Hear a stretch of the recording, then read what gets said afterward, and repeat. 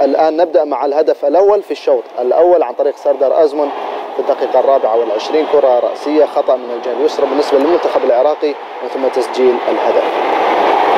الدقيقة 43 من عمر الشوط الأول. أيضا شهدت طرد آه، بولادي ومن ثم الشوط الثاني يعود وتسجيل أحمد ياسين الهدف آه، الأول بالنسبة للمنتخب العراقي مع بداية الشوط الثاني. يونس محمود يعود في الدقيقة الثالثة والتسعين.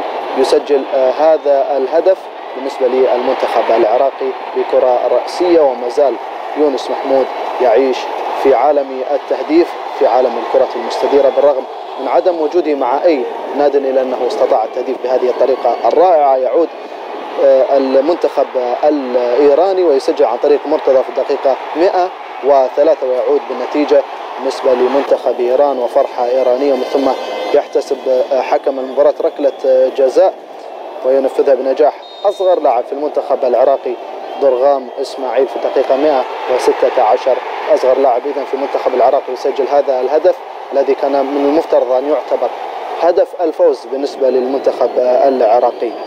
لأن رضا جوتشا وفي الدقائق الأخيرة يسجل بعد كرة دراماتيكية كانت في المنطقة الدفاعية بالنسبة للمنتخب العراقي لأنه